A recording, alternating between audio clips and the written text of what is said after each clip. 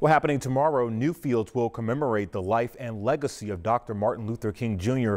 with a day of service celebration. The event will include a multi-denominational service from local religious leaders. National Youth Poet Laureate Alyssa Gaines will also deliver a message. The event is in the Tobias Theater starting at 6.30. It's free for members and guests, but advance tickets are required.